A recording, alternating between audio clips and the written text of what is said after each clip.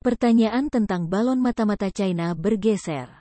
Pejabat kini menanyakan dengan tepat siapa yang membuatnya. Beijing bersikeras bahwa balon yang jatuh itu adalah pesawat sipil untuk penelitian cuaca.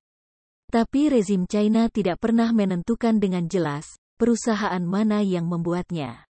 Sebuah artikel yang ditemukan di portal internet China, NetEase, mencantumkan sejumlah perusahaan, yang semuanya mampu membangun kapal udara tak berawak.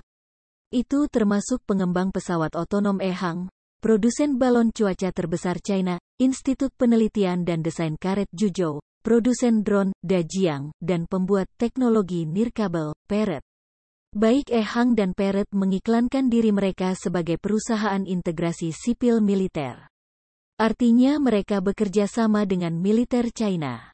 Selain itu, Dajiang dianggap sebagai perusahaan militer dan telah lama mendapat sanksi dari Amerika Serikat. Artikel lain mengungkap dugaan hubungan antara Institut Penelitian dan Desain Karet Juzhou dengan Angkatan Darat China. Lembaga tersebut dilaporkan telah memperoleh lisensi untuk penelitian dan produksi senjata, serta menerima perintah dari Departemen Persenjataan Umum, badan yang bertanggung jawab untuk mempersenjatai Tentara Nasional China, yang dikenal sebagai PLA. Artikel berjudul, Sejarah Singkat Balon Pengembara itu segera dihapus dari internet. Namun menurut informasi publik, Institut Juzhou juga merupakan pemasok yang ditunjuk untuk Departemen Staf Gabungan PLA.